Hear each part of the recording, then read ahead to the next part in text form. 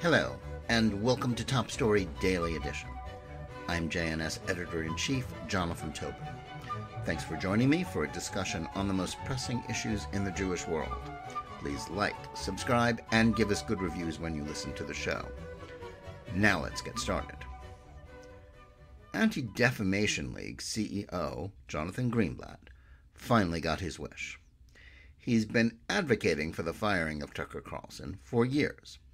And that's what happened earlier this week when Fox News fired the host of its most popular and influential program. In the absence of any explanation from the network or its parent corporation, News Corp, the public and Carlson's millions of fans have been free to speculate about the proximate cause of the decision. There is also great uncertainty as to how or when he will return to the spotlight and resume his role in public discourse, which, perhaps as much as any other individual in the media, he has helped shape since Tucker Carlson Tonight began appearing on Fox in 2016. Though Greenblatt and other partisan liberal Democrats deplore the very existence of Fox News and have sought to deplatform it, since they seem to think that having a news channel, let alone one whose viewership dwarfed that of its competitors, that dissented from liberal orthodoxies, was an outrage not to be tolerated. But Carlson was a particular object of scorn and anger. They accused him of, in Greenblatt's words, using his primetime show to spew anti Semitic, racist, xenophobic, and anti LBGTQ hate to millions. Unquote. In particular, the ADL claimed that Carlson was guilty of spreading the Great Replacement theory, and in so doing was an ally of the neo Nazis who marched in Charlottesville, Virginia in the summer of 2017. Though most of those accusations are untrue, Carlson is still a problematic figure. That's especially true for a Jewish community that is rightfully fearful of anyone hostile or indifferent to the fate of Israel or unfazed by anti Semitism. And yet the debate about him isn't really about those concerns. That's why even those who disagreed with him on some issues or were unhappy with the tone of some of his monologues shouldn't be cheering his departure from the Fox lineup. Carlson's importance is something that both his fans and those who despise him agreed about. Liberals saw him as more than just a media mouthpiece for their political foes. Though his show was a hit from its inception, it became must watch TV for political observers in the summer of 2020 as he became the tribune of populist conservatism, pushing back against the corporate media consensus, parroting the propaganda of the Black Lives Matter movement and the woke diversity, equity, inclusion, DEI catechism that has come to dominate so much of public life.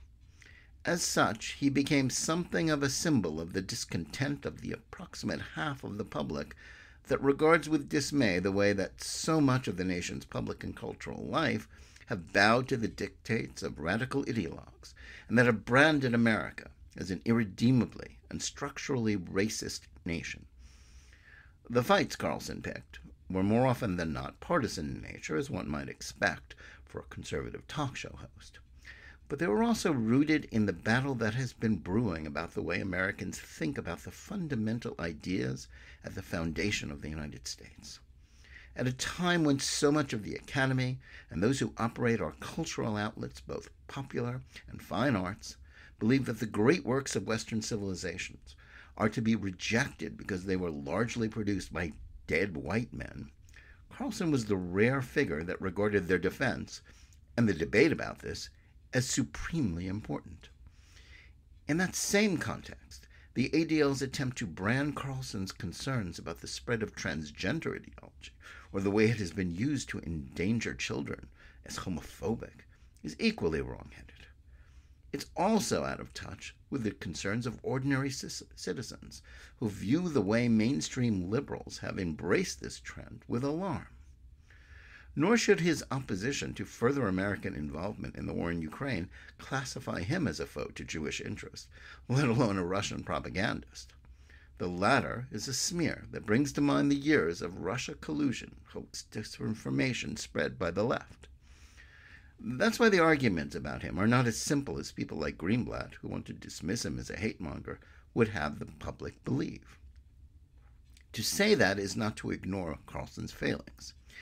His neo isolationism extended from positions opposing American involvement in unnecessary wars or for spreading democracy, which are now largely shared by most Republicans, to indifference about the threat that a nuclear Iran posed to the West. But as I've noted on many occasions, his unsupportive attitude toward the fight to defend Israel and the threat from Iran made him a rarity on the contemporary political right.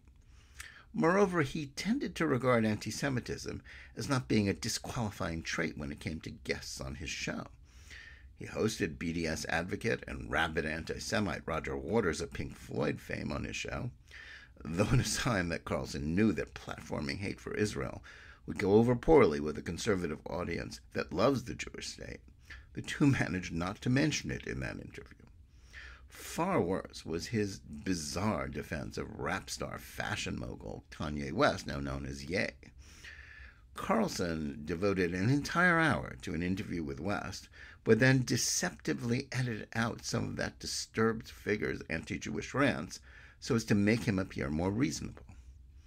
It's also true that Carlson's penchant for satirizing his foes could cross over into unacceptable language. For example, justified criticism of a Tennessee state legislature that had helped incite demonstrations at the state capitol in Nashville and disrupted the work of a Democratic body were valid. But saying that this individual spoke like a sharecropper went way over the line. That doesn't mean that all the accusations hurled at Carlson by Greenblatt were correct. In particular, the ADL argument that speaking of the impact of illegal immigration on American democracy, Carlson was advocating for a great replacement theory was disingenuous. Like most conservatives, Carlson adamantly opposes illegal immigration, as well as the way many people trying to cross the U.S. southern border were posing as refugees rather than as economic migrants. It has always actually been Democrats who boasted that the influx of Hispanics would alter the political balance of the country in favor of the left for the ADL to claim that opposing illegal immigration or even favoring a shift in the laws about legal entry to the country is racist and xenophobic is wrong. Equally fallacious is their disingenuous effort to connect the dots between Carlson and the neo Nazis because of the left's argument that demography is political destiny. Though there are good reasons for Jews to be wary of Carlson's attitude towards the Middle East, there are others on which he should be considered allied to Jewish interests. No other prominent figure in public discourse on the right or the left has been a more articulate critic of critical race theory, intersectionality, and the spread of the woke DEI catechism. Though the ADL and others go along with these fashionable ideas and the BLM movement that serves as a cover for them, Carlson was right to sound the alarm about them. These toxic theories have migrated from academia to being accepted in the mainstream press as pop culture and even by the Biden administration.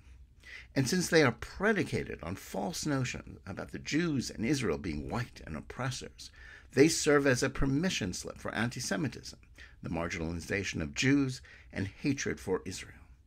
Seen in that light, the Jewish community should understand that someone like Carlson was far more of an ally in the battle against anti Semitism than a foe. No one knows if the details about Carlson's firings will substantially add to the accusations against him or not, nor can it be certain whether his future positions will further alienate him from Jewish conservatives. But at a time when the discussion about the left's assault on Western civilization by radical ideologues may well be the most important debate going on, Carlson's willingness to take up the cudgels for the values that created American freedom put him at the focal point of the country's discourse. Those who are cheering for his silencing may think they are standing up against hate, but the acquiescence of groups like the ADL to toxic ideologies that endanger Jews may make them more of a threat to democracy and Jewish security than Carlson ever was. Thanks for listening. Please remember to tune in every day for Top Story Daily Edition and every week for the full hour long JNS TV program. Whether you're listening to us on Spotify or any of the other podcast platforms or on the JNS YouTube channel, please like and or subscribe to Top Story. Click on the bell for notifications and give us good reviews. Please write to us at editor at jns.org and let us know where you listen and watch the show or what you think about it. And remember, keep reading and thinking for yourself.